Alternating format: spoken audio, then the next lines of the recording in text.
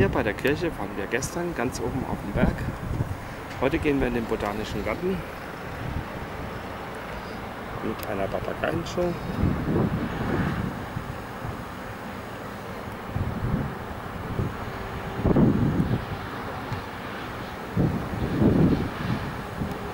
Und hier sehen wir Fundschall von oben.